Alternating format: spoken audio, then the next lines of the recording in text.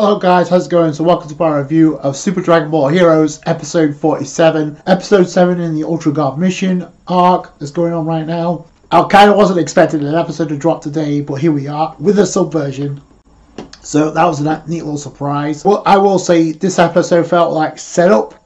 We got a lot of action when it comes to like Gogeta versus Broly and obviously Eos and Goku are outmatched right now, but they're teaming up against De- Demigra, so this is kind of cool to see. But let's pick up right from the start, and it doesn't take long. But basically, at the time, Nest and Demigra decides to switch the place up and actually create, in Eos' own words, he's, ch- he's changing the fabric of space. So that was actually pretty neat. He changed. It, it looks like he changed the style of the area to like a more wastelandish type of area, creating the villains he released in the previous episode, the multiple villains, I should point out. And I mentioned this in the comments, but I'm glad it got highlighted here in this episode. So basically, we see a bunch of villains return, kind of like what we saw with Omega Shenron, only much more of them. We saw Broly at the end of the last episode. Unfortunately, I, I did see Ribeiro anywhere, so we don't get the Eos versus Ribeiro. I hope she does something, I'll say that, unless she just took off off screen we see the villains manifest in, in this dark aura that the Demigra released into the air, and we see the multiple villains again. More importantly, we see each area, the four areas, and we see that each fight, we see the fighters that actually are taking on these villains. So in, in one area, it, it focuses on the the ice area where Yamcha and Hit are at. I, th- I think Vegeta's at the same place, along with the, I, I guess the Glass Sisters we still don't got names for them, so I'm hoping they do something as well, because they're comforting right now. But they're comforted by the return of Chilled and Finn. Now I don't expect them to do much against Hit, but that could be kind of interesting for, if nothing else, for Yamcha just something to do because he's not backing down. He's not running away, getting scared. That may change in the next episode, but right now he's standing his ground. It also gives Hit something to do. So that like I said, also it could go, give the the ice mirror sisters something to do. Since one of them's infatuated with Yamcha, so maybe she'll back him up. So that'd be kind of cool in that aspect. Then we cut over to where the two Piccolos are at, along with Gohan. This is one of the most intriguing parts because we see all the time breakers minus Towa and Mira. So we, we see Gravy, Dabura, Putine, Salsa, and Shroom, which is interesting because they were helping Gohan, and Goku, and Vegeta, among others, in the previous arc in the Big Bang mission. Now they're against him, and they're completely under the command of of Demigra right now. So obviously it's manipulation at some at that part. But it's like all those who are allied with the Supreme Kai of Time go ham and kill them without mercy. So we got battles of survival about to take place right now. The two go two Piccolos and Gohan going up against the Time Breakers. That's actually pretty cool, and it gives that, like I say, those are the characters I want to see highlighted, focused on in this arc, alongside the Time Patrol, Gohan and Goten. Speaking of which, we actually go to the area where future Gohan and future Trunks are at right now, and they're confronted by by Super Android 13, Bojack and Slug there's also another development which I'll get into because it may tie into this. Future Gohan and Future Trunks teaming up. That's actually pretty cool. Time Patrol Trunks and Future Gohan teaming up. Then we go over to Vegeta who's been who's about to fight Majin Buu. The the first Majin Buu that we saw in Dragon Ball. So that's actually pretty cool. It's a cool callback. Majin Vegeta versus Majin Buu. So that could that could be pretty good for Vegeta. Then we go to Jiren, who's who's literally looking up at Baby from GT and Hatchiyack from the. And he was the villain for the plan to eradicate the Saiyan special. So that was actually that's actually pretty cool. We got to see Hatchiyack again. I, I, believe he was in the Prison Planet arc in the manga, so it was actually cool they actually included him here. But I mean, against Jiren, it's going to be. I mean, no contest. Like, G, uh, Baby, that's going to be kind of interesting. It's cool that Jiren he's going up against top tier fighters like that. Hopefully, it leads to something epic. We get to see more from Jiren.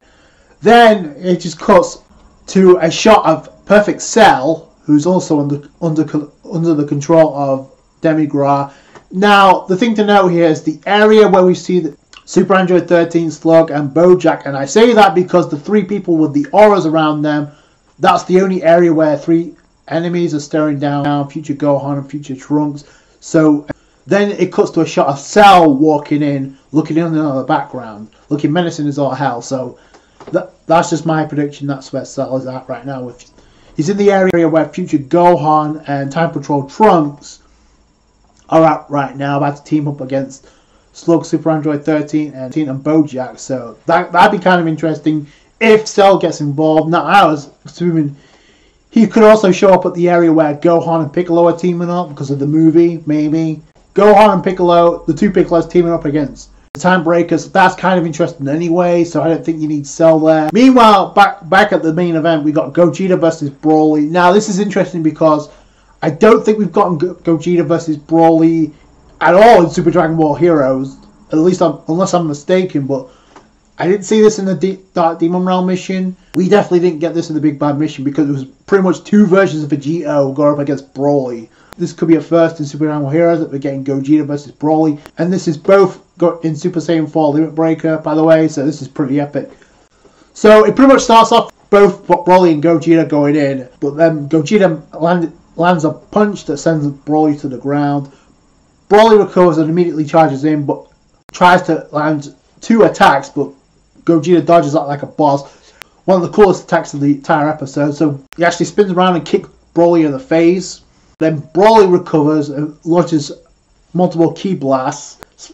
He spams multiple ki blasts, firing them at Gogeta. Gogeta actually counters. Now, this was a complete reference to the Dragon Ball Super Broly movie. So I don't know if you guys picked up on this. You probably did, because of how popular it was. But Gogeta uses what what before he charges up and fires his attack, he uses the same pose he used in the Dragon Ball Super Broly movie when he was going up against Broly. When he uses the explosion, he does the same pose here. Then he fires the multiple ki blasts.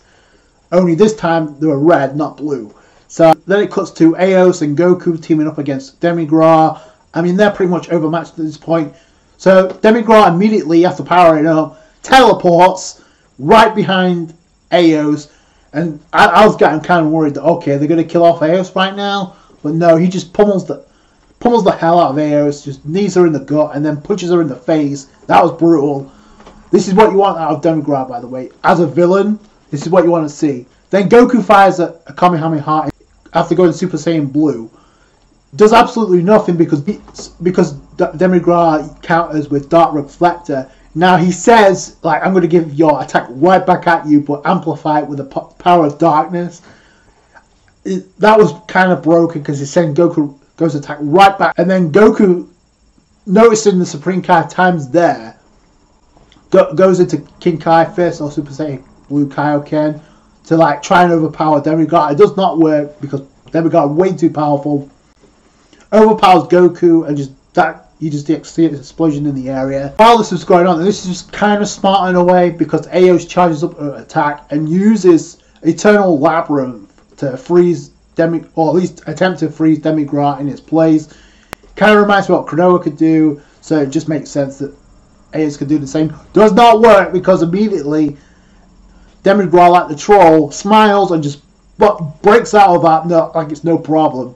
And then that's pretty much how the episode ends with Demigra powering up. So obviously, individually, Eos and Goku don't really stand much of a chance unless they team up or unless they get some backup. Because right now, unless they heal, they're healed, and that's why what Demigra is doing is brilliant as a villain because he's he's picking up bones where they're at the most vulnerable because they they're pretty much maxed out from the earlier fight from two episodes ago. So this is where Demigra gets to shine as a villain like I said, the most interesting part is the fact that we get time breakers that uh, are staring down two Piccolos and, and Gohan from Dragon Ball Super. Just not to get you confused because there's a lot of characters here. But the fact we still have the time breakers in the previous arc. Now, like I said, minus Towa and Mira, which I thought was kind of, which I think was great. It was a good move because we don't need Towa and Mira getting overshadowed in this arc by the amount of villains. We got enough villains, we got enough people in this tournament. You introduced characters like Jiren, Hit, Vegeta. Like this is a good, this is a good move by releasing these villains because it gives the it gives the participants that actually did nothing in this tournament so far something to do. What before we get to the final stage? Now this would be a good cut-off point to actually focus on what's going on elsewhere, rather than just focus on Demigra versus Eos and Goku. They're not really much of a match, so you can cut back to that if you want to. If you want to leave us on a cliffhanger, so so yeah, I, I, like the direction this is going in. You brought these characters in this tournament for a reason, so use them with these villains. Like I said, we got the pair ups. We know where each of the villains are at right now. It's just how are they going to be utilized. Now, when it comes to like there's certain instances, like I said, with Towa and Mira not involved, confirmed, that means they're going to have their own chance to shine later down the road. I assume added to the mix and got overshadowed. Now we do, like I said, an intriguing part of this is we didn't see Ribeiro, but she could play a role very quickly. But I, I definitely feel like there's going to be a switch to, that goes against Demigra because he's way too in command right now. He has all the villains he needs. They're going to get smashed anyway because the the villains they're going up against are, are leagues above them. Like Buu versus Vegeta. Like Vegeta's going to smash Buu. That version of Buu He's much stronger than he was when he was Majin Vegeta. Like Jiren versus Hatchiyack and Baby. Like I know Baby's a popular character, but they're not gonna do much against Jiren. I'm sorry, unless Baby manages to actually try and possess Jiren. That'd be a neat little twist. I'm not gonna lie. But yeah, this is actually pretty cool seeing these villains and hopefully give them a purpose. Like I said, we saw Cell, the only one who wasn't fighting anyone, but he's in the area where Future Gohan and Time Patrol Trunks are at right now. So, speaking of the Time Patrol, so the title for the next episode is a, is a union that transcends space and time, and that also says the fist of justice that smashes evil. That can mean one of two things. A union means that could relate to Gogeta, Diffusing, and and Xenogoku and Xeno Vegeta and Super Saiyan 4 use a Dragon Fist like they did against Dark Janemba, only this time against Broly that's my first thought.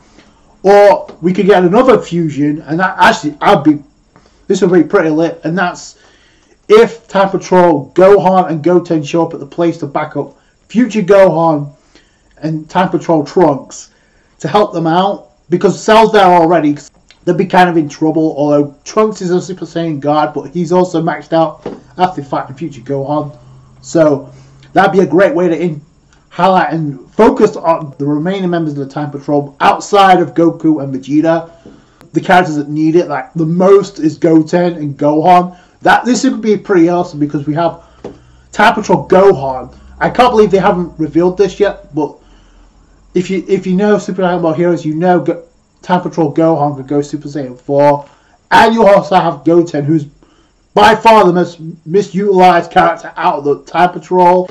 Again, it could lead to it could lead into that because of the movie of Trunks and, and maybe because of the manga as well. Maybe and Goten perform a perform a fusion technique and we perform a fusion dance and we actually get the adult version of Gotenks for the first time in Dragon, Super Dragon Ball Heroes in the anime.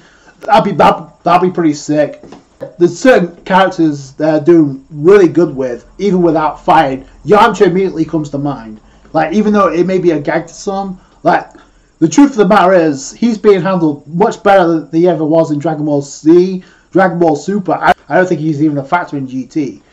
Vegeta versus Majin Buu is really intriguing, considering how how much stronger Vegeta is, but it's still an intri- intriguing matchup because Vegeta is, uh, is also fighting a Majin Buu that's getting a power up because of Demigra. The other theory I have, it's nothing to do with the title, but I we really didn't get able to see what happened with with the aftermath of Bardock and Goku, right? We we seen in this episode, it looks like future Gohan and future and Time Patrol Trunks are going to team up.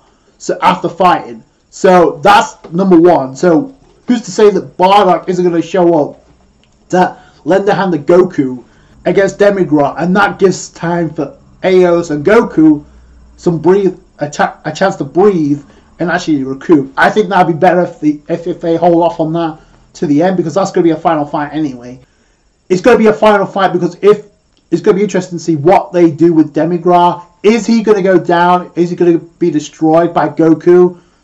by the end of this arc because I, I view Demigra in a way that the same way I view Towa. No matter it doesn't matter pow, about power scaling here. Like they're both mainstays. They have been mainstays in the franchise of Super Dragon Ball Heroes since the beginning of the game. So Towa's been the same.